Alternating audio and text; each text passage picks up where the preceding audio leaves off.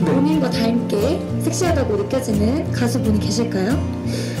어 저와 닮게 닮게는 아니고요. 네. 개인적으로 저는 희성 형이 어. 되게 점점 날이 갈수록 멋있어지시는 것 같아가지고 네.